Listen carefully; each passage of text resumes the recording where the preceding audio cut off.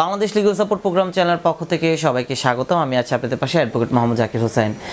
আজ আমি যে টপিক নিয়ে আলোচনা করব তা হলো যে আপনাদের যে ধর্ষণের ব্যাপারে, র্যাপের ব্যাপারে বর্তমানে বাংলাদেশে অনেক গুঞ্জন শোনা যায়। আসলে কখন র্যাপ করলে আপনি আইনের সুপদ্ধ করতে পারবেন অথবা কতদিন পর্যন্ত আপনি র্যাপ করার কতদিন পর্যন্ত আপনি মামলা করতে পারবেন?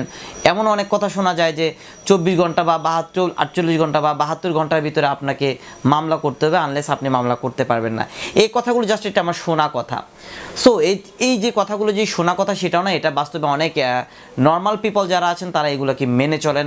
দ্যাটস ওয়াই কখনো যদি ধর্ষণ হয়েও যান, সেই ক্ষেত্রে তারা আইনগত রেমেডি নিতে যান না বা নিতে চান না। এখন এই ব্যাপারটা আমি আপনাদেরকে একটু ক্লিয়ার করে দিচ্ছি। যখন আপনি কারও দ্বারা র্যাপড হবেন স্পেসিফিকলি যদি জোর জবরদস্তিভাবে আপনাকে কেউ র্যাপ করে, সেক্ষেত্রে অবশ্যই মাথায় রাখবেন যে আপনাকে সাপোজ জোর করে র্যাপ করেছে, পরবর্তীতে আপনাকে আটক করে রেখেছে। দ্যাটস ওয়াই হতে পারে এরকম আটকটা হতে পারে, এক মাস, দুই মাস, তিন মাস আপনাকে আটক করে রেখেছে। আপনাকে বাহিরে যেতে দেয়নি দ্যাটস ওয়াই আপনি কিন্তু আইনগত ব্যবস্থা নিতে পারেননি। সেই ক্ষেত্রে আপনার একটা কাজ করা আছে। কারণ যখন দুই তিন মাস চলে যাবে, সেক্ষেত্রে অবশ্যই ধর্ষণের কোনো সিনড্রম থাকবে না বা সিমেন্ট পাওয়া যাবে না। সেই ক্ষেত্রে যখন ধর্ষণ করা হবে, তখন অবশ্যই ধর্ষণের সাথে আপনার শরীরের যে কাপড়গুলো আছে, সেই কাপড়গুলো অবশ্যই আপনি যেভাবে আছে, ঠিক ওভাবেই অক্ষত অবস্থায় রেখে দেবেন।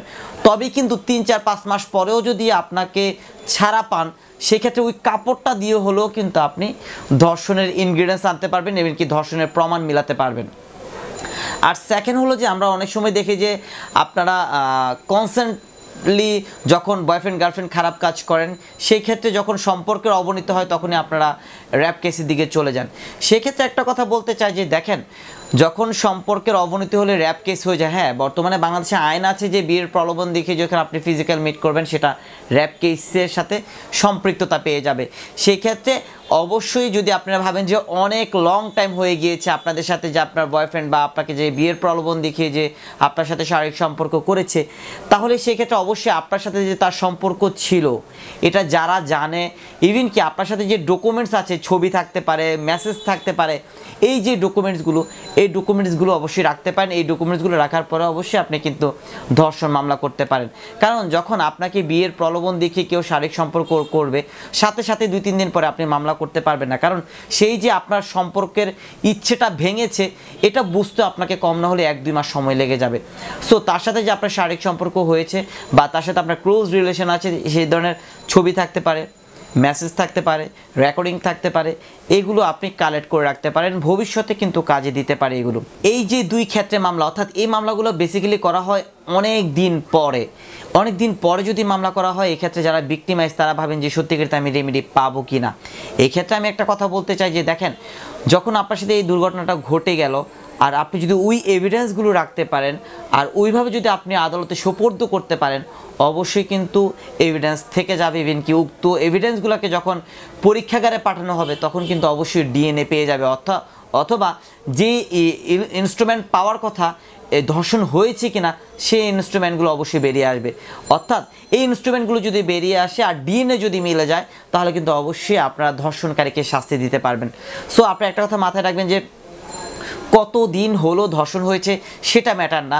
আপনার কাছে প্রমাণ আছে কি না দ্যাটটা দ্যাটস ম্যাটার আপনি যদি প্রমাণ থাকে, তাহলে এক বছর পরেও মামলা করতে পারবেন। তবে হ্যাঁ প্রমাণ অবশ্যই থাকতে হবে যে আপনাকে দর্শন করার পর যে আপনার কাপড় চোপড় ছিল সেগুলো, অথবা আপনার সাথে যে ভালো সম্পর্ক ছিল, সেই সম্পর্কের ছবিগুলো, অথবা মেসেজ তবে হ্যাঁ সম্পর্কের ছবি অথবা মেসেজ দিয়ে যদিও সাজা দেওয়া যাবে না, কিন্তু এগুলোর উপর ডিপেন্ড করে কিন্তু মামলার প্রসিডিং স্টেপ প্রসিডিংটা চালানো যাবে।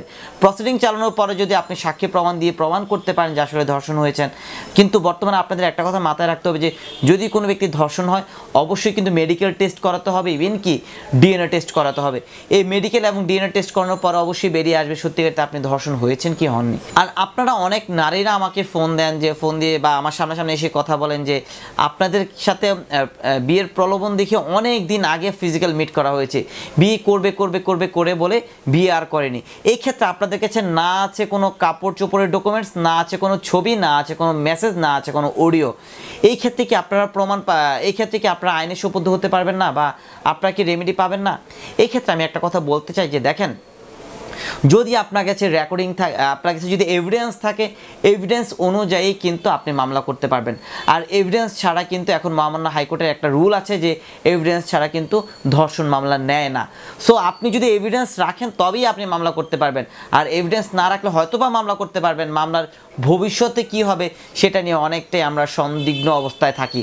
সো তাকে অবশ্যই ধর্ষণকারীকে শাস্তি দেওয়ার জন্য অবশ্যই আপনি এভিডেন্স কালেক্ট করতে হবে এভিডেন্স রাখতে হবে ইভেন কি এভিডেন্সগুলো অবশ্যই সংরক্ষিত থাকতে হবে, তবেই আপনি ধর্ষণকারীকে শাস্তি দিতে পারবেন।